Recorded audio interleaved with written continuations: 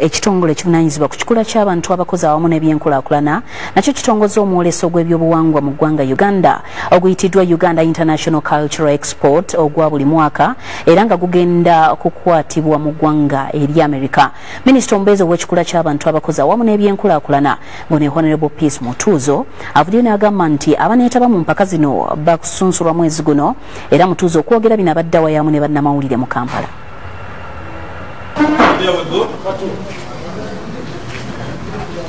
turi banamukisa ebyensuso olw'okuba nti uganda etegeka omukoro ogw'okutwara ebyobuwangwa byaffe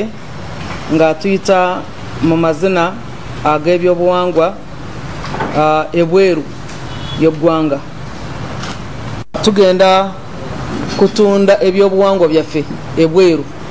ate akatale tukalina kubanga ne wano wetuli byetutandiseeko abasigansimbi bavudde bweru n'abanauganda abasirikiventi nabo ne batwala obuvunanyizibwa obwokuba nti omukolo guno bwe bagenda ogutambuza. Fe ku ludda wa gavumenti tubaweereza uh, technical support tubaweereza ekyetagisa kyonna oba okunoonya tickets oba okubakkiriza okutambula okubalagawo gye balaga uh, embassies ebyo byonna tujja bibakolera ngaekikulu nnyo kiri kyakutumbula omutindo ogw'ebyobuwangwa mu uganda